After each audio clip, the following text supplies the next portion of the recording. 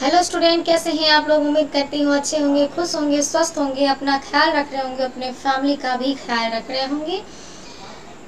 तो चलिए, आज हम लोग पढ़ेंगे टॉपिक जो पढ़ेंगे दैट इज़ एंडोसाइटोसिस हम लोग पढ़ेंगे आज। And this class is for C S I R NET class okay and आप सभी को सावन की बहुत बहुत शुभकामनाएँ, ठीक है? तो चलिए हम लोग स्टार्ट करते हैं इंडोसाइटोसिस क्या होता है इंडोसाइटोसिस सबसे पहले हम लोग इसके बारे में जानते हैं। इंडोसाइटोसिस एक ऐसी प्रक्रिया है जिसके थ्रू जो सेल है, वो चीज़ों को अपने अंदर लेता है, ठीक है? तो एंडोसाइटोसिस में क्या होता है कि इनवेजिनेशन होता है सेल सरफेस में ठीक है जिसके कारण एक इंट्रासेलुलर मेम्ब्रेन का फॉर्मेशन होता है जिसको कि इंट्रासेलुलर मेम्ब्रेन बॉन्डेड वेसाइकल कहते हैं जो कि अपने अंदर कंटेन करता है एक्स्ट्रा सेलुलर फ्लूड को। ठीक है एक्स्ट्रा सेलुलर फ्लूड को कंटेन करता है। तो एंडोसाइटोसिस मटेरियल जो है आ, वैसा मटेरियल जो कि ट्रांसपोर्ट के ज़रिए ऑस्मोसिस के ज़रिए या डिफ्यूजन के ज़रिए पास नहीं हो पाता है सेल के थ्रू तो वैसी कंडीशन में इंडोसाइटोसिस की प्रोसेस देखी जाती है। तो इंडोसाइटोसिस में क्या हुआ कि वैसा सब्सटेंस मटेरियल जो कि उसके डिफ्यूजन के थ्रू या ऑस्मोसिस के थ्रू या ट्रांसपोर्ट के ज़रिए पहुँच नहीं पाता है तो ऐसी कंडीशन में जो सेल सरफेस होता है, वो एंटेलाइज कर जाता है। ठीक है एंटेलाइज करने के बाद जो है उसमें एक बर्ड्स की तरह फॉर्म होता है, जिसके जो क्या करता है कि उस मटेरियल को इनगल्फ कर लेता है और इनगल्फ करने के बाद फिर वो रिसाइकल के फॉर्म में कन्वर्ट हो जाता है। जो एंडोसाइटोसिस टर्म है, सबसे पहले एंडोसाइटोसिस टर्म जो है, वो किसने क्वाइन किया है?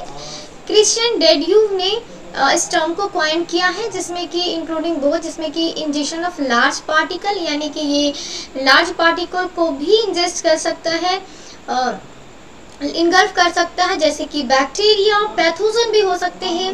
And it also uptake of fluid और मैक्रोट्यूब्यूल्स ये फ्लूड को भी अपटेक करते हैं और मैक्रोट्यूब्यूल जैसे कि प्रोटीन हार्मोन्स इम्यूनोग्लोब्यूलिन इटीसी को भी ये इनगल्फ करते हैं। तो इंडोसाइटोसिस में सॉलिड सब्सटेंस को भी इनगल्फ किया जाता है एंड लिक्विड सब्सटेंस को भी इनगल्फ किया जाता है ठीक है? तो इंडोसाइटोसिस में दो तरह का प्रोसेस आपको देखने को मिलेगा। कहीं आपको सॉलिड सब्सटेंस को भी इनगल्फ कर, करता हुआ मिलेगा कहीं पे आपको लिक्विड सब्सटेंस को भी इनगल्फ करता हुआ मिलेगा। ठीक है, अब मैं इसको एक डायग्राम के ज़रिए आपको दिखाऊँ। तो ये आपका एक डायग्राम है, मैं इसको बनाने, बनाती हूँ, ठीक है? ये है आपको सेल ठीक है? ये सेल है, ठीक है? इस सेल के बाहर यहाँ पे कुछ सब्सटेंस रखे हुए हैं, ठीक है? जैसे ही ये सब्सटेंस इसके कांटेक्ट में आता है तो ये यहाँ पे इस तरीके का इनवेजिनेशन शो करे। इस तरीके का सेल जो है इनवेजिनेशन शो किया। ये क्या किया? इनवेजिनेशन शो किया इन्वेजिनेशन हो गया इन्वेजिनेट हो गया सेल अब यहाँ पे जो आउटर इन्वायरमेंट में जो एक्स्ट्रा सेलुलर सब्सटेंसेस मटेरियल यहाँ पे प्रेजेंट है, वो धीरे धीरे कहाँ आ जाएगा? इस इन्वेजिनेट सेल में आ जाएगा। अब इस इन्वेजिनेट सेल में आएगा तो ये यहाँ से और ये यहाँ से। ये डिटा मतलब धीरे धीरे नैरो होने लगेंगे। कैसे नैरो होने लगेंगे? चलिए देखते हैं। ये देखिए। इस तरीके से देखिए, ये यहाँ पे पूसिंग हो गया, ये यहाँ पे पूसिंग हो गया और ये यहाँ पे देखिए एकदम नैरो सा बन गया। तो बाहर जो एक्स्ट्रा सेलर सब्सटेंस था, वो कहाँ आ गया? अंदर आ गया।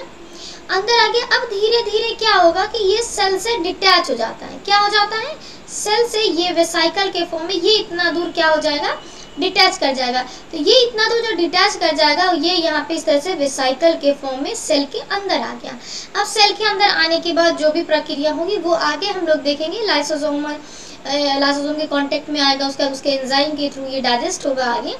तो एंडोसाइटोसिस ये चीज़ें हुई कि बाहर के चीज़ों को, बाहर के मटेरियल को कैसे सेल अपने अंदर लेता है। सबसे पहले सेल में इनवेजिनेशन होता है इनवेजिनेशन होने के कारण क्या होता है कि सेल इनपुशिंग होता है। सेल इस तरह से आ, मतलब अंदर की तरफ़ एक रिसाइकल जैसा फॉर्मेशन करता है जिसमें कि बहुत सारे जो भी एक्स्ट्रा सेलुलर सब्सटेंस है वो मटेरियल है वो उसके अंदर आ जाते हैं और धीरे धीरे वो रिसाइकल जो है वो आउटर सेल से डिटैच होना इस तरीके से स्टार्ट हो जाता है और नैरो होते होते ये फाइनली सेल से डिटैच होकर के सेल के अंदर आ जाता है यानी कि साइटोप्लाज्म में आ जाता है। जहाँ पे इस मटेरियल का डाइजेशन होना है। क्लियर है इतनी बात? तो एंडोसाइटोसिस क्या होता है? आई थिंक आपको इस डायग्राम के थ्रू इजीली समझ आ गया होगा कि एक्चुअली में एंडोसाइटोसिस क्या है। ठीक है? तो इंडोसाइटोसिस इंडोसाइटोसिस प्रोसेस में लार्ज मटेरियल लार्ज पार्टिकल को भी इनगल्फ कर, कर करा जाता है। जैसे कि बैक्टीरिया पैथोजेंस वगैरह को आ, कुछ फ्लूड को भी ये इंटैक्ट करते हैं मैक्रोमोलिक्यूल्स को भी इंटैक्ट करते हैं जैसे कि प्रोटीन हो गए हार्मोन्स हो गए इम्यूनोग्लोबुलिन्स हो गए। इस तरीके से कि किसमें ये फॉर्म करेंगे? मतलब इन सभी चीज़ को चाहे वो लार्ज पार्टिकल हो चाहे वो बैक्टीरिया अंदर आया हो सेल के या फिर कोई बाहरी पैथोजन आया हो या फिर कोई मैक्रोमोलिक्यूल्स आया हो तो वो स्मॉल वेसाइकल का स्ट्रक्चर बनेगा जिसके अंदर ये सभी चीज़ें प्रेजेंट होकर के सेल के अंदर आएँगी। यानी साइटोप्लाज्म आएँगे। तो अभी हम लोगों ने देखा कैसे ये जो भी मटेरियल बाहर में होगा, वो अंदर आएगा और अंदर आने के बाद ये फिर इस तरीके से सेल साइटोप्लाज्म के अंदर चला जाता है। तो फॉर्मल एक्टिविटी जो होती है इसकी उसको फेगोसाइटोसिस के नाम से जाना जाता है एंड पिनोसाइटोसिस के नाम से जाना जाता है। जो इंडोसाइटोसिस में आपको इंडोसाइटोसिस में आपको दो प्रक्रिया देखने को मिलेगा। One is the phagocytosis right another is the pinocytosis Phagocytosis, what is the phagocytosis? The, the process in which the solid substance is intake through the cell. जहाँ पे solid substance जो है सेल uh, के द्वारा solid substance लिया जाता है उसको बोलेंगे phagocytosis. But uh, when uh, the cell is taking the liquid substances uh, uh, through the formation of special uh, organs like pinosomes is called a pinocytes. ठीक है pinocytosis okay तो pinocytosis में क्या होगा कि लिक्विड सब्सटेंस सेल इनगल्फ करेगा। That is a pinocytosis ठीक है? That is the pinocytosis simple आप समझिए कि फेगोसाइटोसिस सॉलिड सब्सटेंस को जब सेल लेगा दैट इज़ फेगोसाइटोसिस जब लिक्विड सब्सटेंस को सेल इनगल्फ करेगा दैट इज़ पिनोसाइटोसिस ठीक है? So we can say the phagocytosis is a cell eating process कह सकते हैं हम लोग? फेगोसाइटोसिस को cell eating process and pinocytosis को क्या कह सकते हैं? सेल ड्रिंकिंग कह सकते हैं। कह सकते हैं? क्योंकि ये लिक्विड सब्सटेंस को ले रहा है so it is a cell drinking process right अब हमें इंडोसाइटोसिस uh, की ज़रूरत क्यों पड़ती है? इसलिए पड़ती है कि हमें, हमारे सेल में जो ट्रांसपोर्ट होता है आयंस का शुगर का, एमिनो एसिड का, वो प्लाज्मा मेम्ब्रेन के थ्रू होता है and with the help of integral membrane protein की हेल्प से होता है। जो कि जनरली चैनल के द्वारा होता है कैरियर के द्वारा होता है पंप के द्वारा होता है। तो तो ट्रांसपोर्ट किसके किसके द्वारा होता है? आयन सुगर अमीनो एसिड का प्लाज्मा मेम्ब्रेन के थ्रू होता है और किसकी हेल्प से होता है? इंटीग्रल मेम्ब्रेन प्रोटीन की हेल्प से होता है, जिसमें कि चैनल पंप कैरियर का फॉर्मेशन होता है। ठीक है, ये सब चीज़ें हम लोगों ने डील कर लिया कि चैनल के द्वारा कैरियर के द्वारा या पंप के द्वारा कैसे ट्रांसपोर्ट होता है प्लाज्मा मेम्ब्रेन के थ्रू ठीक है आयन सुगर्स अमीनो एसिड वगैरह।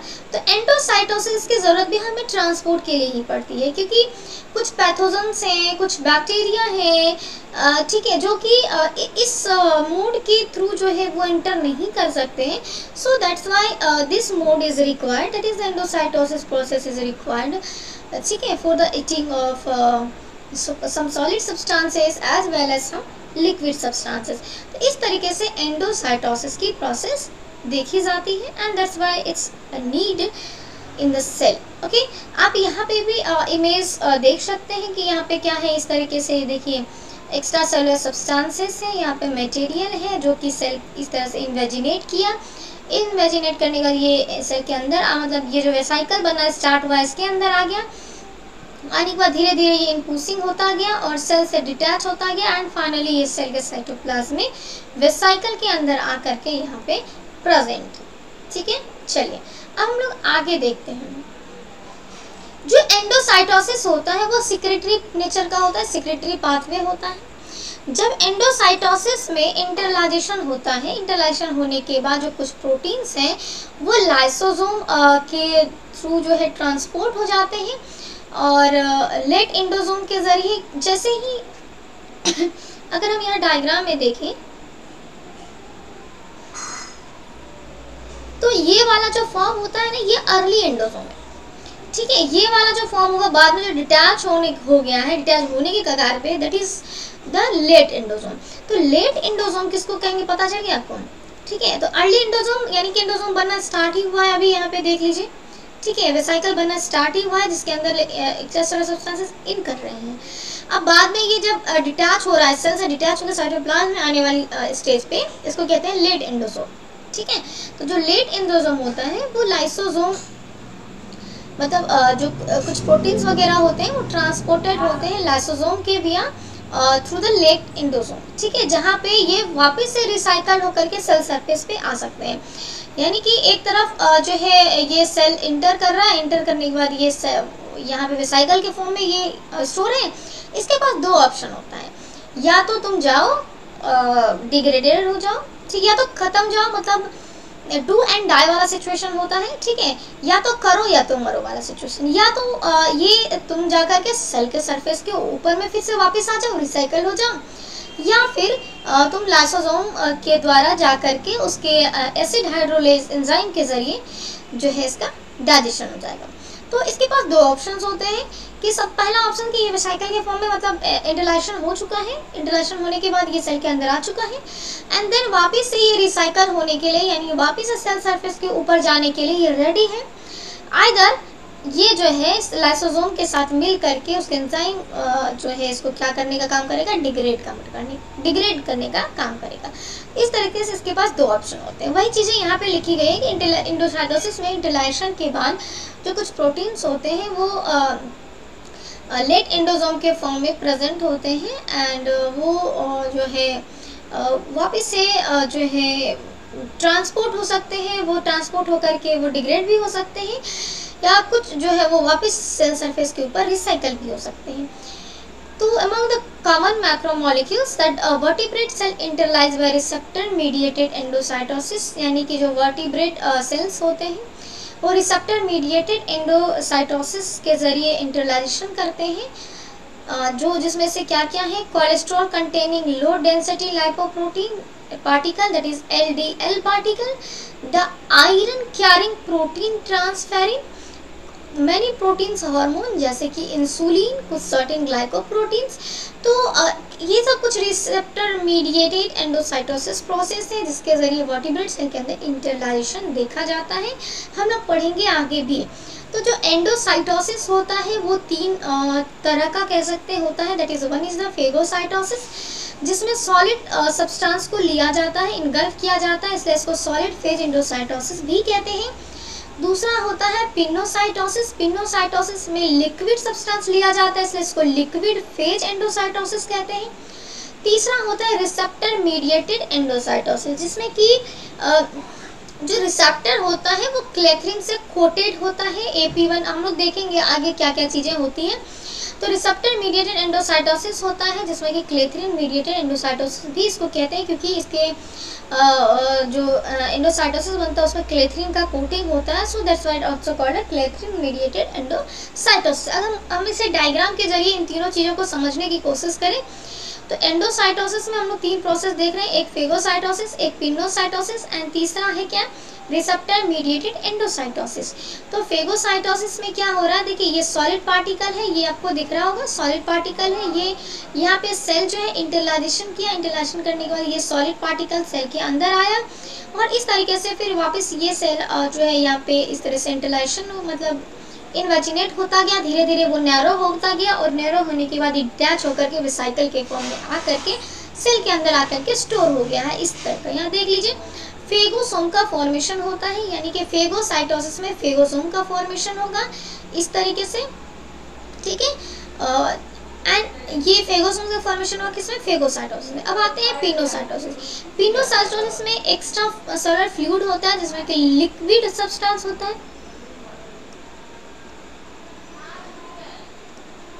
जिसमें लिक्विड सब्सटेंस होता है एंड ये लिक्विड सब्सटेंस इस तरीके से सेल के इंटरलाइशन होने के बाद अंदर आ जाता है। अंदर आने के बाद इस तरह से जो है पिनोसोस फॉर्म करता है, इसको बोलते हैं। पिनोसोम्स फॉर्म करता है पिनोसोम्स फिर वापस डिसल से डिटैच हो जाता है एंड डिटैच होने का बाद साइकिल के फॉर्म में आकर के साइटोप्लाज्म में प्रेजेंट होता है। ये हो गया पिनोसाइटोसिस। नेक्स्ट आता है receptor mediated endocytosis receptor mediated endocytosis क्या होता है? सेल सरफेस के ऊपर रिसेप्टर प्रेजेंट होता है जिसपे आकर के जो बाहर में जो मटेरियल्स हैं, वो आते हैं बाइंड करते हैं। बाइंड करने के बाद सेल का इंटरलाइजेशन होता है।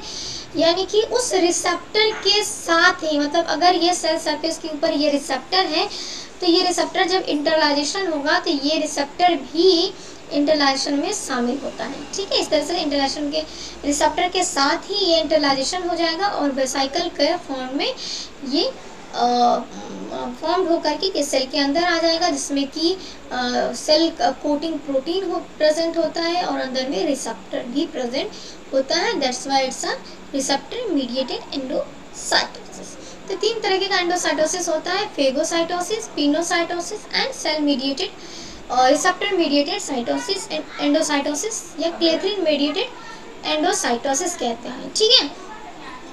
अब हम लोग देखेंगे कि एक मिनट फेगोसाइटोसिस क्या होता है राइट फेगोसाइटोसिस क्या होता है? वन मिनट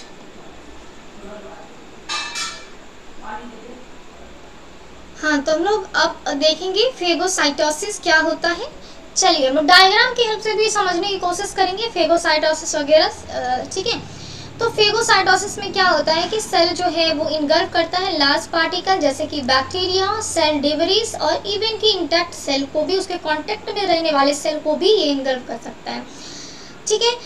फेगोसाइटोसिस में जो पार्टिकल्स होते हैं, जो भी एक्स्ट्रा सेलुलर पार्टिकल्स हो गए लार्ज पार्टिकल जैसे बैक्टीरिया कह रहे हैं सेल डिब्रिस कह रही है इंटेक्ट सेल ही कह रहे हैं तो वो सबसे पहले बाइंड करेगा रिसेप्टर के साथ cell surface of the phagocytosis cell यानी फेगोसाइटोसिस फेगोसाइटिक सेल के सरफेस के ऊपर आकर के जैसे ही पार्टिकल रिसेप्टर से बाइंड करेगा, वैसे ही जो सीरोपोडिया का एक्सटेंशन हो जाता है। मतलब हम यहाँ पे आपको लाइन से डायग्राम के थ्रू समझाने की कोशिश करते हैं। ये है हमारा सेल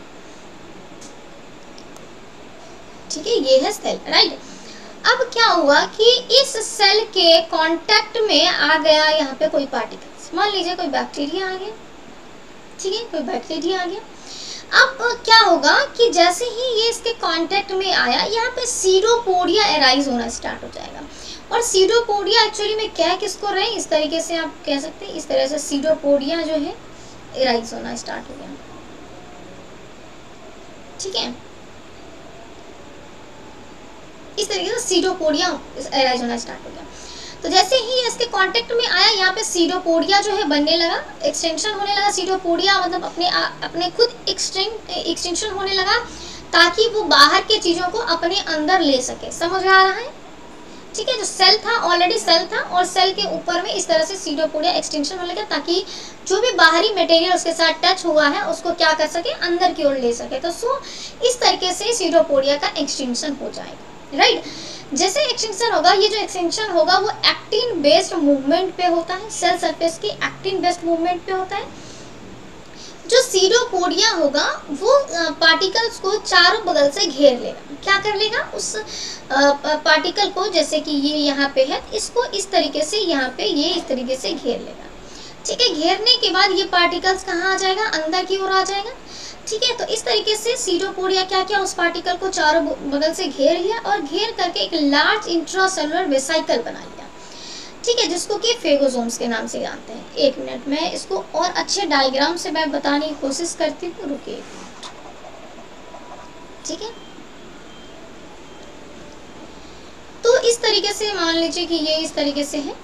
एंड यहाँ पे जो है कांटेक्ट में आया एंड uh, इस तरीके से यहाँ पे बनना स्टार्ट हो गया सीडोपोडिया ठीक है एंड आफ्टर दैट यहाँ पे इस तरीके से जो चीज़ें हैं वो अंदर की ओर आना स्टार्ट हो गया। मतलब इसको इसने अंदर ले लिया। ये जो स्ट्रक्चर बना है दैट इज़ द फेगोस ठीक है ये क्या स्ट्रक्चर बना है? फेगोसोम तो अब जो आउटर पार्ट जो आउटर बाहर में पार्टिकल्स थे वो पार्टिकल्स कहाँ आ गया है? सेल के अंदर आ, आ रहा है मतलब वेसाइकल के फॉर्म वेसाइकल में ये एंटर कर चुका है ये जो इंट्रासेलुलर वेसाइकल फॉर्म हुआ। अब वेसाइकल यहाँ पे क्या हो रहा है धीरे धीरे सेल से यहाँ पे ये डिटैच होता नज़र आ रहा है। उसके बाद ये जो फेगोजोम्स बनेगा, ये फेगोजोम सेल के अंदर आ जाएगा एंड सेल के अंदर आने के बाद क्या होगा कि ये लाइसोजोम के कांटेक्ट में आएगा और जैसे ही ये वेसाइकल मतलब एक स्टेप में आपको और आगे दिखा दूँ तो ये इस तरह से सेल से डिटैच हो जाएगा और इसके अंदर ये बैक्टीरिया पैथोजन जो भी सेल डिब्रीज बोले, वो इसके अंदर आ जाता है वेसाइकल के फॉर्म में ये प्रेजेंट है। ठीक है एंड ये जैसे ही जो है लाइसोजोम के कांटेक्ट में आएगा तो लाइसोजोम के कांटेक्ट में आने के बाद क्या होगा कि फेगोलाइसोजोम प्रोड्यूस होगा। फेगो लाइसोजोम प्रोड्यूस होगा तो जिसमें क्या होता है कि इंडेस्ट जो भी मटेरियल बाहर से आए हैं, जो इंजेस्टेड मटेरियल है, उसका डाइजेशन करा जाएगा, उसको ब्रेक किया जाएगा, ठीक है? तो उसका जो ब्रेक कर, करा जाएगा या डाइजेशन करा जाएगा तो बहुत सारे एंजाइमल एक्शन है। तो यहाँ पे एंजाइमल एक्शन कौन से होंगे? यहाँ पे लाइसोजोमल एक्शन होंगे। तो लाइसोजोमल एक्शन जो होंगे तो लाइसोजोमल एक्शन में लाइसोजोम जो होता है, वो कंटेन करता है एसिड हाइड्रोलेज और ये एसिड हाइड्रोलेज जो है, वो डाइजेशन में ही हेल्प करता है। तो ये जो यहाँ पे लाइसोजोम के कांटेक्ट में जैसे ही आएगा lysosomal acid hydrolase enzyme release होगा और वो एंजाइम क्या करेगा? इस इंजेस्टेड मटेरियल को जो कि वेसाइकल के अंदर में प्रेजेंट है, उसको डाइजेस्ट कर देगा। क्लियर है इतनी बातें? ठीक है एक्स्ट्रा सोलर मटेरियल आया सेल से चिपका सेल से चिपकने के बाद उसको सेंसेशन हुआ कि हमारे ऊपर कोई आके बैठा है, वैसे ही सीडोपोडिया एराइज होना स्टार्ट हुआ। सीडोपोडिया एराइज हुआ तो वो धीरे धीरे वो सीरोपोडिया क्या किया? उसके चारों तरफ़ घेर लिया, घेरने के उसको अंदर कर लिया वेसाइकल के फॉर्म में कन्वर्ट कर लिया और इस वेसाइकल को फेगोजोम्स कहते हैं। ये फेगोजोम सेल लाइसोजोम के कांटेक्ट में आया। जैसे ही लाइसोजोम के कांटेक्ट में आया फेगो लाइसोजोम का फॉर्मेशन किया और लाइसोजोम जो है, वो एसिड हाइड्रोलेज एंजाइम प्रोड्यूस करेगा, जिसके कारण जो इंटर इंडस्ट्रियल मटेरियल है, उसका डाइजेशन हो जाएगा। तो ये है फेगोसाइटोसिस प्रोसेस, जो बहुत सारे अमीबा होते हैं। आप लोगों ने बचपन से पढ़ा होगा, अमीबा का स्ट्रक्चर आप लोगों ने देखा होगा। इस तरीके से अमीबा का स्ट्रक्चर होता है। एंड uh, उसमें सीरोपोडिया होता है और वो जो फ़ूड लेता है इसी प्रोसेस से फेगोसाइटोसिस के द्वारा ही लेता है। यहाँ पे है तो ये सीरोपोडिया धीरे धीरे बढ़ाता जाएगा बढ़ाता जाएगा और इसको अंदर ले लेता है और फिर यहाँ पे डाइजेशन हो जाता है। तो अब बहुत सारे अमीबा जो है वो फेगोसाइटोसिस का यूज़ करते हैं फ़ूड पार्टिकल के कैप्चरिंग के लिए बैक्टीरिया कैप्चरिंग के लिए और कुछ अदर प्रोटोजोन को इंगल्फ करने के लिए। ठीक है? तो this are the phagocytosis clear है इतनी बातें? लोग चलेंगे? One minute. कि मल्टी सेलुलर ऑर्गेनिज्म में फेगोसाइटोसिस का क्या रोल होता है? तो सबसे पहले हम लोग जो देखते आ रहे हैं उसी से हम लोग जो है थोड़ा सा माइंड को कंसंट्रेट करके सोचिए कि फेगोसाइटोसिस क्या काम कर रहा है। पैथोजन को रिमूव कर रहा है सेलुलर डिब्रिस को रिमूव कर रहा है। ऑब्वियसली वो सेल से सेल के अंदर ले रहा है। लासोसोमल इंजाइम के कांटेक्ट में लाके उसको डाइजेस्ट कर दे रहा है। That is the removal of दो सब्सटेंसेस तो फेगो जो साइटोसिस है, अगर उसका रोल देखेंगे हमारे सेल के अंदर तो क्या होता है कि पैथोजन को रिमूव करता है सेलुलर डिब्रिज को रिमूव करता है, ठीक है? और इसका जो मेजर मेजर रोल तो यही हुआ कि पैथोजन और सेलुलर डिब्रिज को रिमूव करना एंड डिफेंस ऑब्वियसली जो हमारे पैथोजन जो सेल को हमारे हानि पहुँचा सकता है, उसके अगेंस्ट ये काम कर रहा है, उसको डाइजेस्ट करके तो डिफेंस में हमारा हेल्प कर रहा है। ठीक है, या फिर हमारे बॉडी के अंदर वैसे सेल जो डैमेज हो गए हैं तो डैमेज सेल को भी ये इन्गल्फ कर करके फिर उसी तरीके से लाइसोसोम के ज़रिए लाइसोसोमल एंजाइम के ज़रिए उसको क्या कर देता है डाइजेस्ट कर देता है। तो इस तरीके से हमारे बॉडी के डैमेज सेल को भी रिमूव करता है एजेड सेल को भी रिमूव करता है डिफेंस में भी हेल्प करता है। ठीक है तो जो मेमल्स होते हैं, उसमें जो फेगोसाइटोसिस माइक्रो ऑर्गेनिज्म का जो फेगोसाइटोसिस देखने को मिलता है, वो three types of blood cells के ज़रिए that is the macrophage neutrophage and dendritic cell ठीक है? Macrophage neutrophage and dendritic cell तो मैमल्स में आपको जो माइक्रो ऑर्गेनिज्म का फेगोसाइटोसिस देखने को मिलेगा वो तीन तरह के व्हाइट ब्लड सेल्स से देखने को आ, के द्वारा देखने को मिलेगा। कौन कौन सा macrophages neutrophils and dendritic cell जिसको कि रेफर्ड करा जाता है दैट इज़ मतलब क्या कहा जाता है? प्रोफेशनल फेगोसाइटोसिस फे, फे, या फेगोसाइट्स ठीक है? तो व्हाइट ब्लड सेल्स जैसे कि मैक्रोफेजेस हो गए न्यूट्रोफिल्स हो गया डेंड्राइटिक सेल्स हो गया, इसको प्रोफेशनल फेगोसाइट्स के नाम से भी जाना जाता है। एग्जांपल में मैं बात करूँ तो ह्यूमन के में जो माइक्रो मैक्रोफेज होता है, ठीक है? स्प्लीन और ह्यूमन स्प्लीन एंड लीवर का जो मैक्रोफेज होता है that is responsible for the disposal और removal of more than the ten to the power eleven यहाँ पे एलेवन छूट गया। Ten to the power eleven aged blood cell on the daily basis यानी कि डेली बेसिस यदि रोज की बात करें तो रोज हमारा सेल जो है नया बनता है, पुराना डिग्रेड होता है। कैसे होता है? ऐसे ही तो होता है। तो डेली बेसिस पे अगर बात करें, रोज ten to the power eleven जो है, आपको जो एजेड ब्लड सेल्स हो गया जो ओल्ड ब्लड सेल्स हो गया, ठीक है, जो डैमेज ब्लड सेल्स हो गया, वो रिप्लेस होता है। ठीक है किसके द्वारा कौन करता है मैक्रोफेज तो मैक्रोफेज जो है ten to the power eleven aged blood cell को डेली बेसिस पे रिमूव करता है। ह्यूमन के स्प्लीन और लीवर में। ठीक है? तो इस तरीके से जो है फेकोसाइटोसिस हमारे बॉडी में जो पैथोजन सेलुलर डिब्रीज वगैरह को रिमूव करता है, हमारी बॉडी को डिफेंस प्रोवाइड करता है डैमेज सेल को रिप्लेस करता है। ठीक है? तो इस तरीके से ये हमारे बॉडी में डिफरेंट डिफरेंट रोल प्ले करता है राइट नेक्स्ट हो गया हम लोग देखेंगे पिनोसाइटोसिस तो पिनोसाइटोसिस का मतलब क्या होता है? पिनोसाइटोसिस यानी सेल के अंदर ठीक है? पिनो का मतलब होता है टू ड्रिंक यानी सेल जो है वो ड्रिंक करेगा. That is called cell drinking अभी हम लोग पढ़े थे थोड़ी देर पहले कि पिनोसाइटोसिस को सेल ड्रिंकिंग भी कहते हैं। तो पिनो का मतलब होता है टू ड्रिंक करना, ठीक है, पीना। और सेल पी रहा है that's why cell drinking pinocytosis ये एक लिक्विड फ़ेज़ स्टेज होता है, जिसमें कि सराउंडिंग फ्लूइड को ये इंजेस्ट करता है इंजेक्शन करता है। जो सेल मेम्ब्रेन है, वो फोल्ड करता है स्मॉल पॉकेट्स क्रिएट करता है और सेलुलर फ्लूइड या डिजॉल्व सब्सटेंस को कैप्चर करता है और इनगल्व कर लेता है। वेसाइकल के फॉर्म में, जिसमें कि पिनोसोम्स का फॉर्मेशन होता है। चलिए हम इसको भी डायग्राम के ज़रिए देखते हैं। तो यहाँ पे ये लिक्विड सब्सटेंस है। ठीक है सेल है। सेल में यह लिक्विड सब्सटेंस है। और ये लिक्विड सब्सटेंस जैसे ही इसके कांटेक्ट में आया, यहाँ पे ये क्या बनाएगा? पिनोसोम्स बना लिया इस तरीके से। ये लिक्विड सब्सटेंस यहाँ आ गया और लिक्विड सब्सटेंस जैसे ही यहाँ आ गया तो अब ये क्या करेगा? धीरे धीरे सेल से डिटैच होता जाएगा। इस तरीके से ये क्या बना लिया? ये बना लिया पिनोजोम। ठीक है, इसी को बोलते हैं पिनोजोम। वेसाइकल के फॉर्म में यह पिनोजोम फॉर्म हो गया and then it is detach from the cell cell से डिटैच होकर के ये पिनोसोम्स कहाँ आ गए? ये इस तरह से सेलुलर डिब्रिस इसमें आ गया। मतलब कि लिक्विड जो भी मटेरियल है, वो यहाँ आ गए सेल के अंदर। अब ये लासोसोम के कांटेक्ट में आएगा और क्या होगा? डाइजेशन इसका हो जाएगा। तो इस तरीके से पिनोसाइटोसिस प्रोसेस देखने को मिलता है। यही प्रक्रिया क्या होता है? पिनोसाइटोसिस कहलाती है। क्लियर है?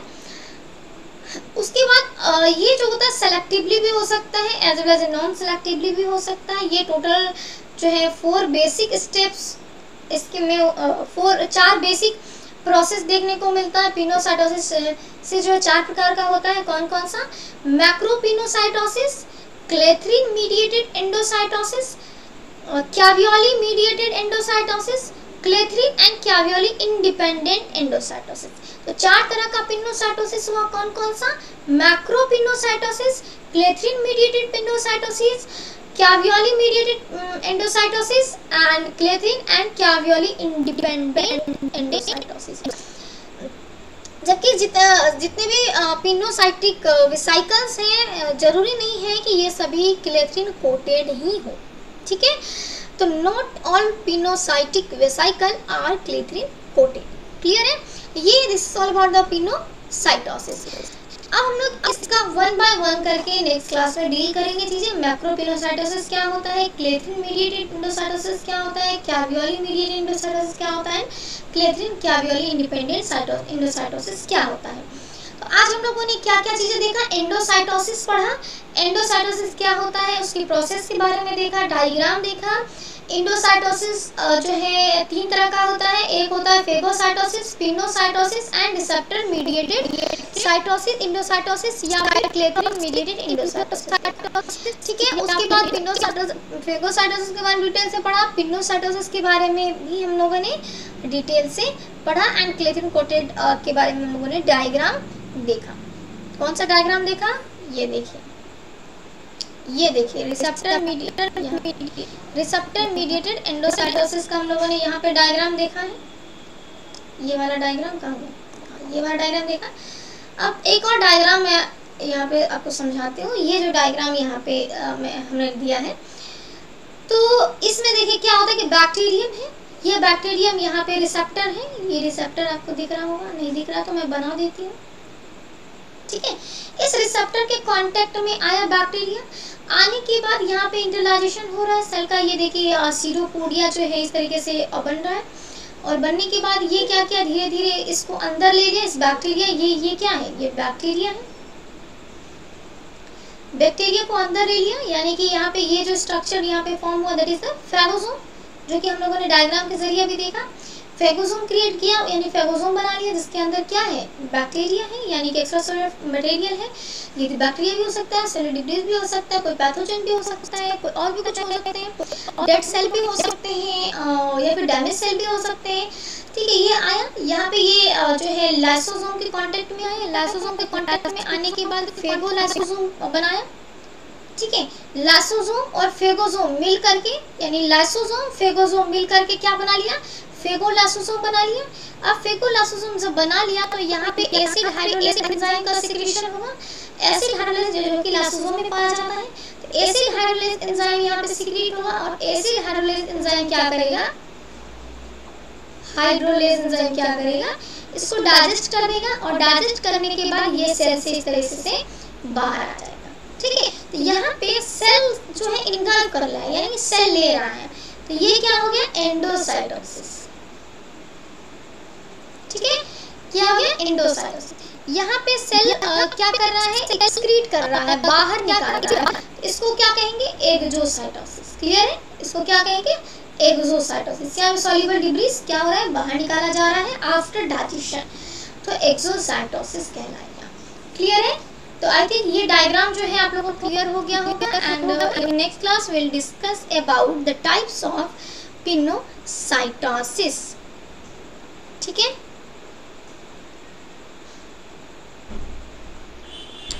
तो आज के लिए हम लोग इतना ही रखते हैं। मिलते हैं नेक्स्ट लेक्चर में। ठीक है विक में आप लोग की दो क्लास ही ले पाऊँगी क्योंकि और भी मुझे क्लासेस लेनी रहती हैं। ठीक है?